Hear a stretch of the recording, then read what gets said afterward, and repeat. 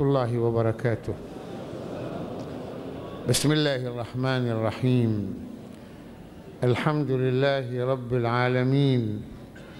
والصلاة والسلام على سيدنا محمد وعلى آله الطيبين وصحبه المنتجبين وعلى جميع أنبياء الله المرسلين. أشهد أن لا إله إلا الله وحده لا شريك له وأشهد أن محمدا عبده المصطفى ورسوله المنتجب أرسله بالهدى ودين الحق ليظهره على الدين كله ولو كره المشركون. يقول الله سبحانه وتعالى وكلوا من رزقه واليه تمشوا في مناكبها وكلوا في رزق من رزقه وإليه النشور. ويقول الله سبحانه وتعالى وابتغ فيما آتاك الله الدار الآخرة ولا تنس نصيبك من الدنيا. مر علينا بالأمس يوم العمل الذي يحتفل العالم به جميعا. وعلينا كمسلمين مؤمنين نتحرك من حيث يريدنا الله أن نتحرك ونقف من حيث يريدنا الله أن نقف. لا بد لنا أن نتفهم موقف الإسلام من العمل الدنيوي سواء كان عملا في مصنع أو في أرض أو في متجر أو في أي موقع من مواقع العمل. ما هي نظرة الإسلام إلى العمل؟ هل هو عندما يأخذ الإنسان به هل هو شيء يحبه الله ويرضاه الله ويثيب الله الإنسان الذي يقوم به؟ أو أنه كما يخيل لبعض الناس شأن من شؤون الدنيا يشغل الإنسان به نفسه عن الآخرة. في المفهوم الإسلامي أيها الأحبة أن العمل في طلب الحلال اعمل ما شئت من الأعمال. صغيرها وكبيرها. ولكن ليكن عملك حلالا في طلب الحلال. فإنك بذلك وأنت في عملك في المصنع أو في الأرض أو في المتجر أنت عندما تطلب الحلال فأنت في عبادة من الصباح إلى المساء.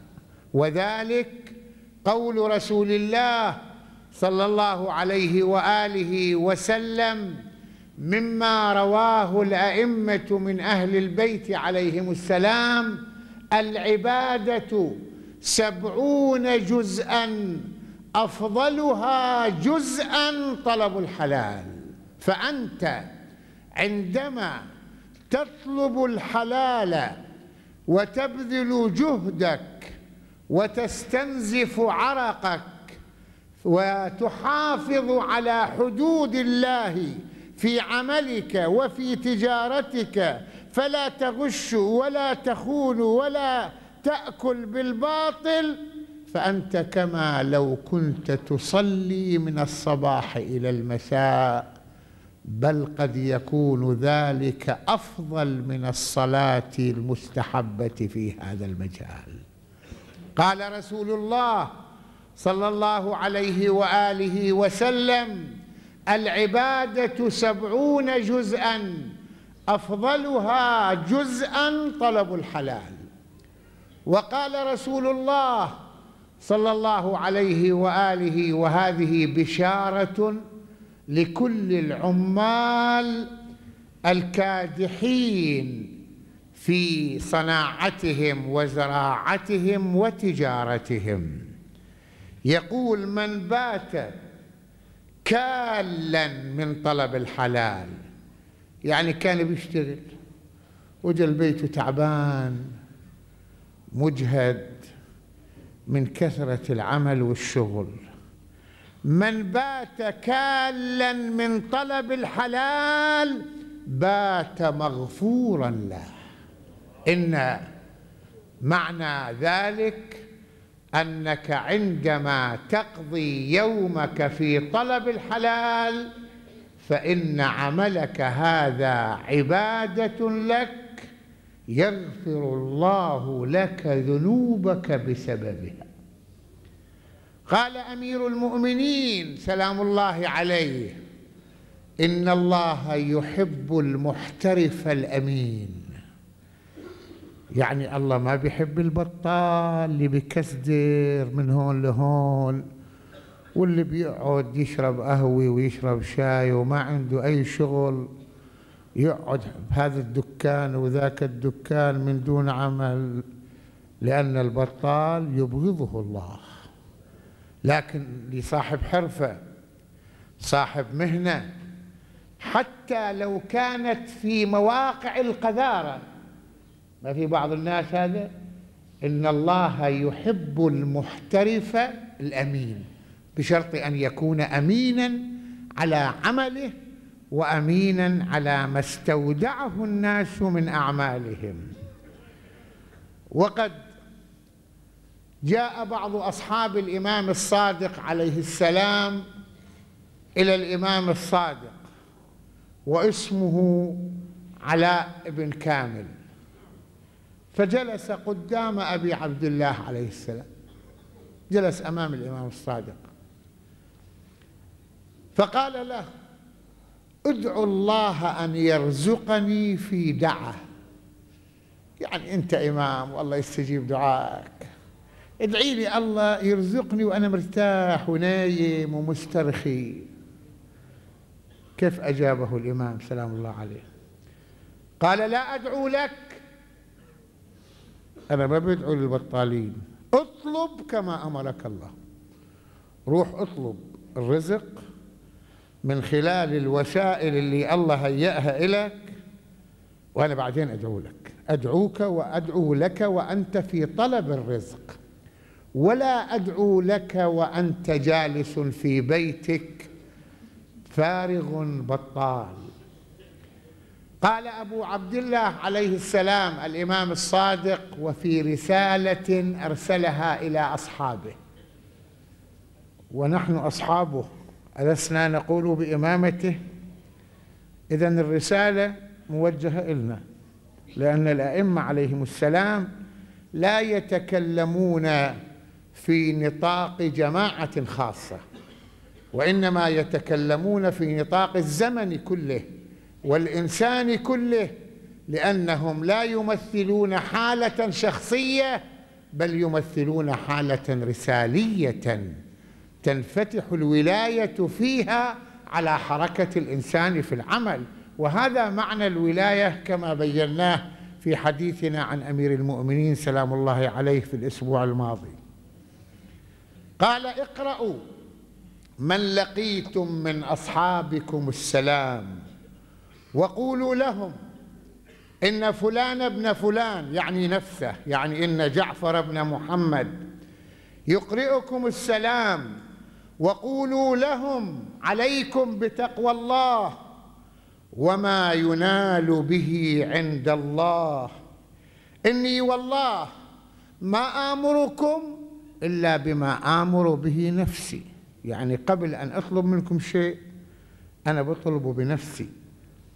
إلا بما نأمر أنفسنا فعليكم بالجد والإجتهاد.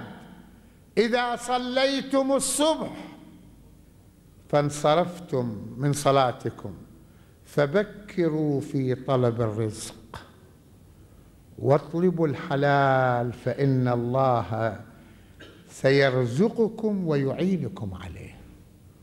يعني إذا فئت من النوم وصليت صلاة الصبح لا تقعد.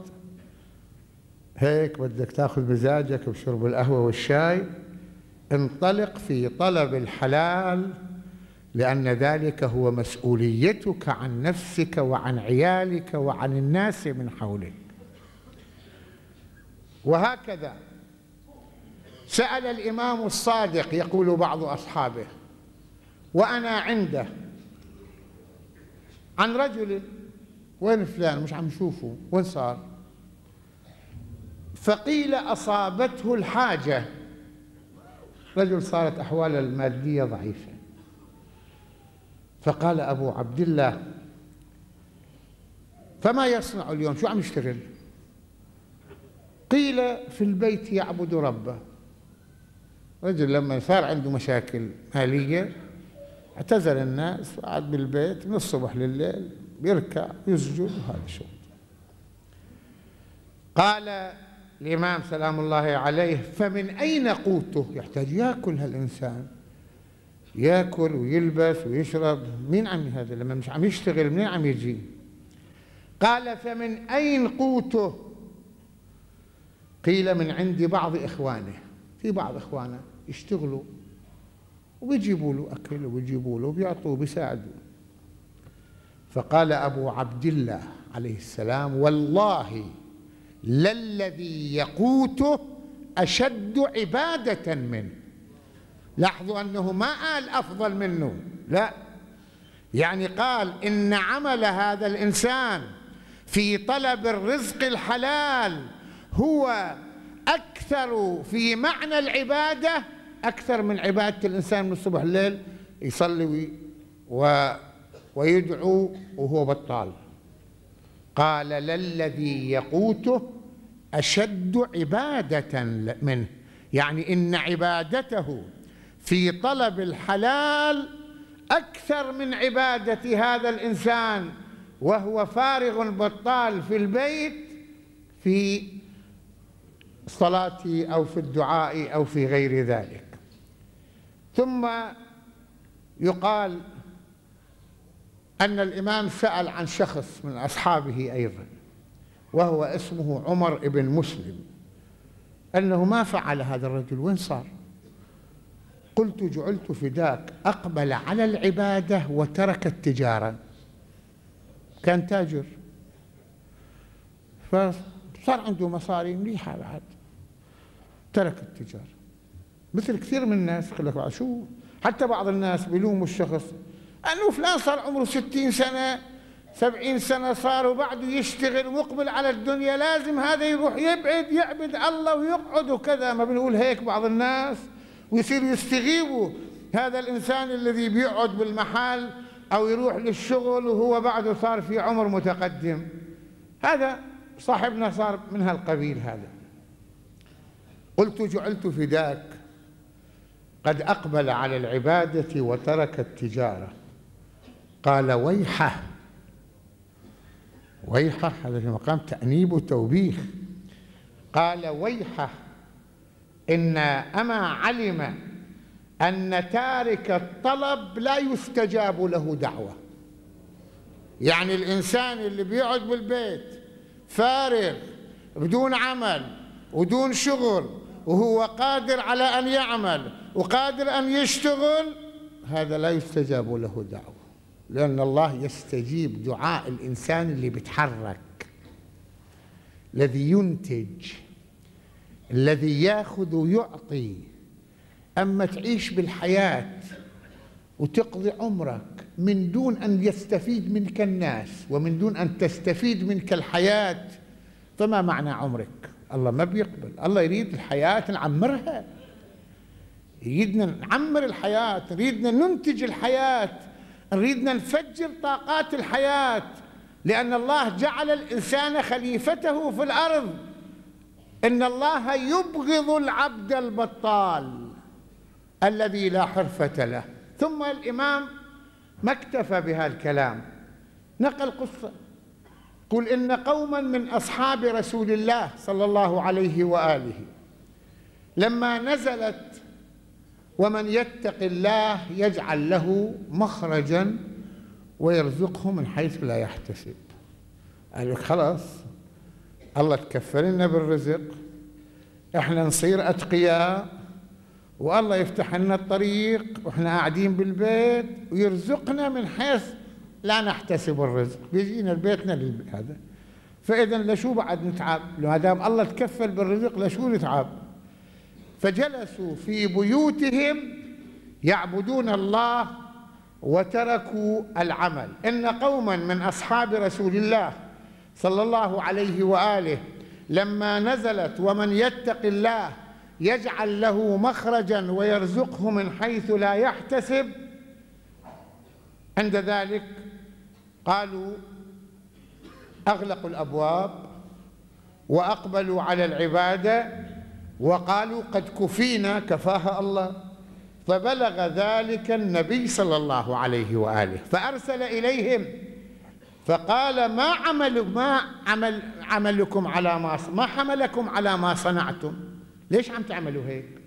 تركتوا الشغل تركتوا العمل تركتوا قالوا يا رسول الله تكفل الله لنا برزقنا فأقبلنا على العبادة. فقال إنه من فعل ذلك لم يستجب له. عليكم بالطلب. يعني ما فهموا الكلمة ومن يتق الله معنى تقوى الله أن تعمل بما أمرك الله. الله ما بس أمرك بالصلاة والصوم الله أمرك بالعمل. الله مثلا في صلاة الجمعة فإذا قضيت الصلاة فانتشروا في الأرض كل واحد يرجع لشغله. ولذا إحنا بالإسلام هاي تقاليد صارت عطلة الجمعة وعطلة الكذا أصلا. بس الله جعلنا عطلة وقت الصلاة. إذا نودي للصلاة من يوم الجمعة فاسعوا إلى ذكر الله وذروا البيع. ذلكم خير لكم إن كنتم تعلمون. فإذا قضيت الصلاة خلصتوا صلاتكم فانتشروا في الأرض وابتغوا من فضل الله يمتقوا الرزق. واذكروا الله كثيرا لعلكم تفلحون. يعني حتى قصة عطلة هو واحد يحب يرتاح ما في مشكل. لكن ما عندنا بالإسلام شيء اسمه عطلة يوم. عندنا عندك مسؤوليات. نعم اشتغل بحسب مزاجك بحسب راحتك. قد تحتاج أن ترتاح. شيء آخر هذا. لذلك من التقوى أن تعمل.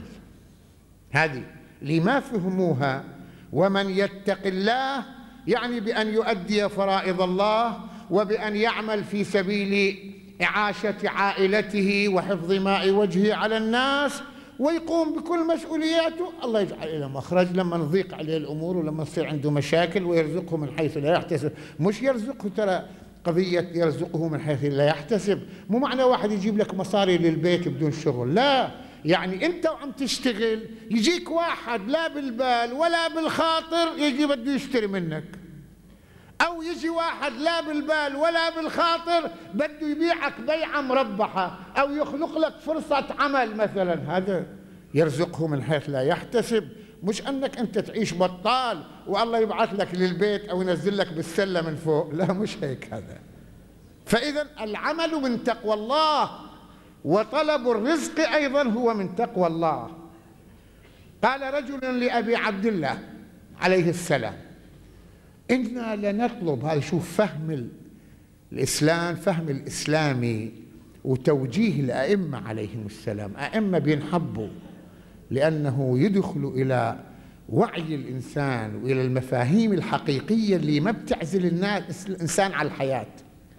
يعني هذا إجل الإمام.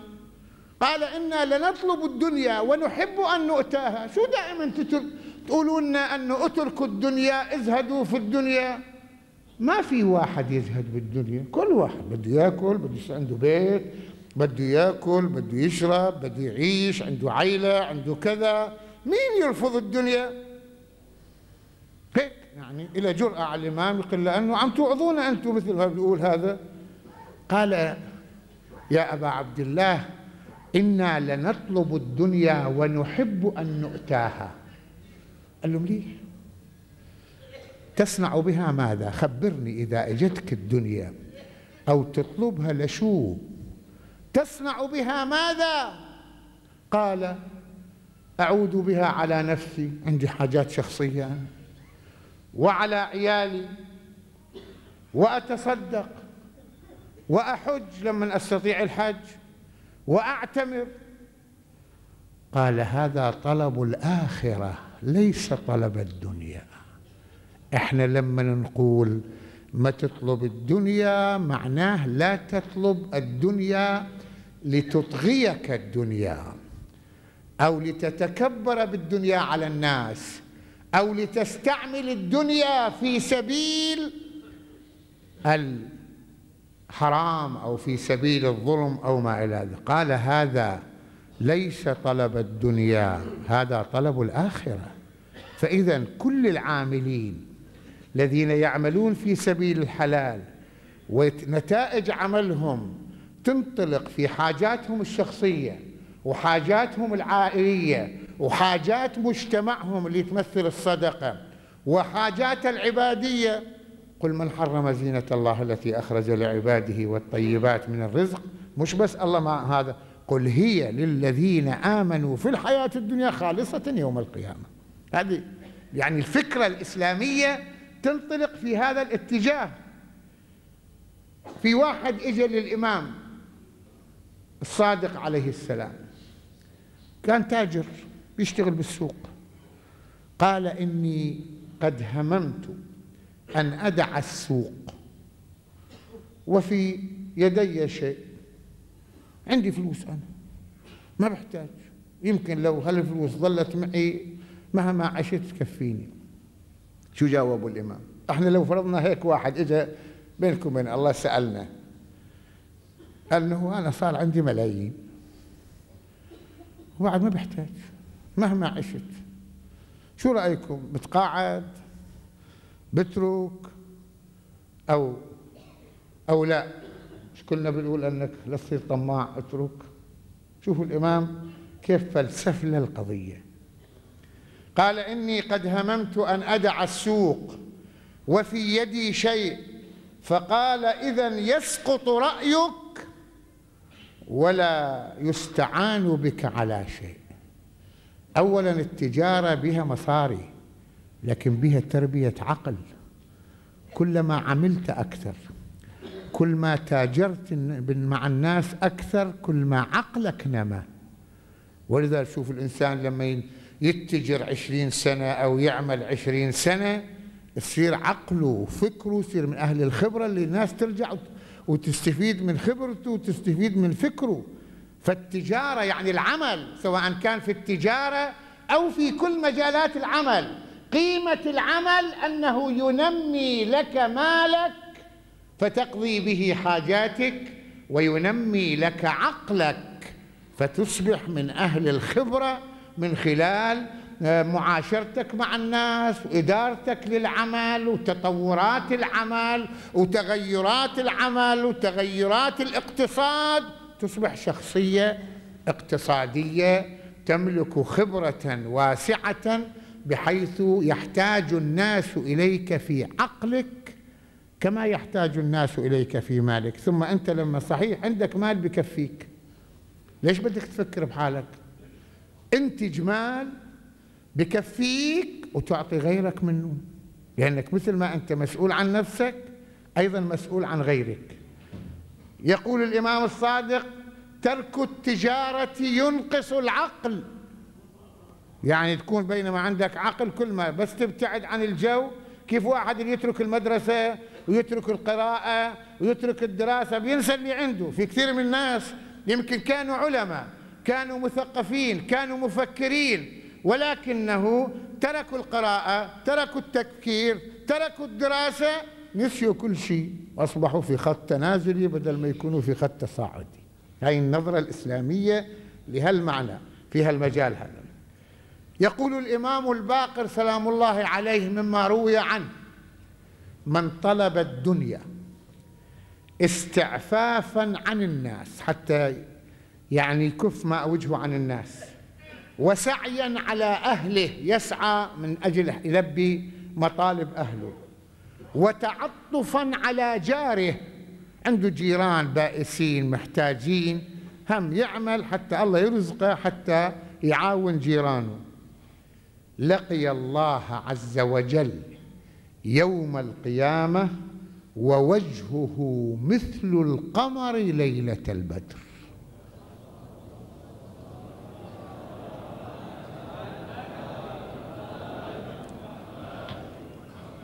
ويروى أن رسول الله صلى الله عليه وآله كان جالسا هي الطاوله كلها بشارة لكل العاملين وتعيشوها حتى يعني تفهموا أن المنطق الإسلامي هو منطق ما يعزل الإنسان عن الحياة وعن العمل بل يدفع الإنسان إلى أن يدخل في آه، في العمل تماما لأن الإسلام يعتبر العمل عبادة وجهاد. اسمعوا هالحديث. كان رسول الله صلى الله عليه وآله جالسا بين أصحابه. وإذا شاب قوي جسم مفتول العضلات حامل هل منجل أو مسحات وطالع. يمكن يقطع شجر يعمل كذا يفلح. فالتفت أصحاب رسول الله صلى الله عليه وآله كما تقول الرواية إلى رسول الله. مستنكرين. قالوا لو أن هذا الشاب الذي خرج لطلب الدنيا لو أن هذا الشاب يعمل على أساس بالعبادة الله القوة يصرفها بعبادة الله يصلي يصوم الدهر يعمل روح للحاج أما كان أفضل من عنده أفضل له من طلب الدنيا. فقال لهم كما تقول الرواية إن كان هذا الشاب قد خرج لأبوين عنده يعولهما فقد خرج في سبيل الله. وإن كان هذا الشاب قد خرج ليعود بالمال على نفسه وعياله فقد خرج في سبيل الله. وإن كان هذا الشاب قد خرج ليكف ماء وجهه عن الناس فقد خرج في سبيل الله.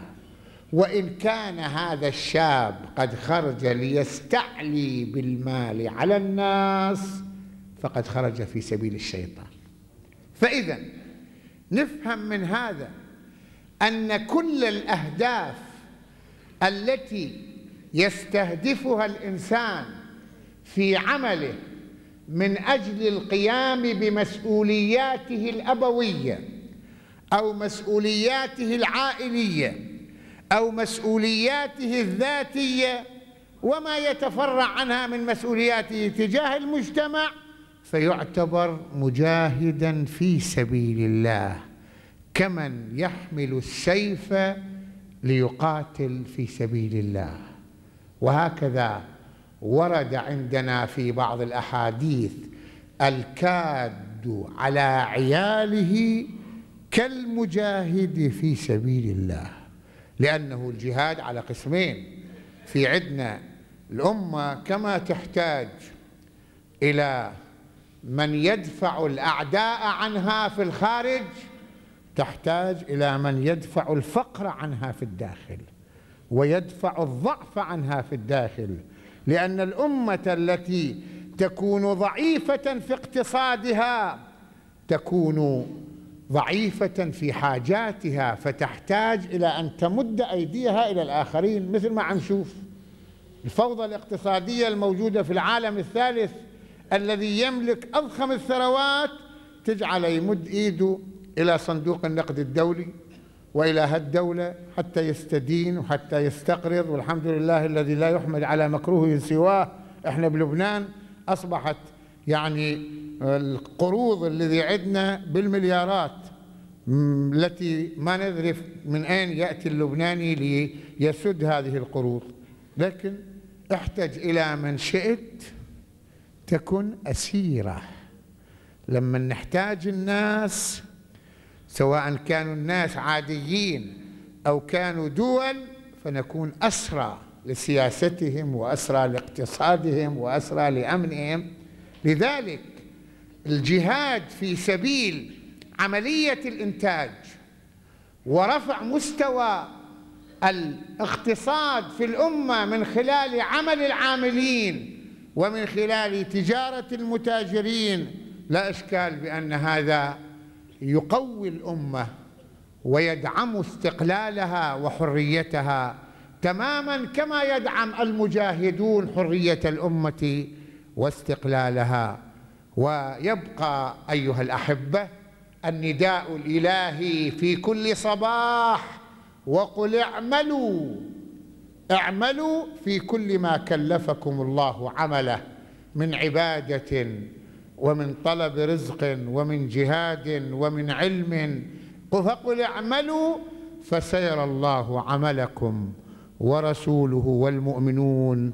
وهذا أيها الأحبة هو موقف الإسلام في يوم العمل بشارة من الله لكل العاملين وغضب من الله على كل البطالين.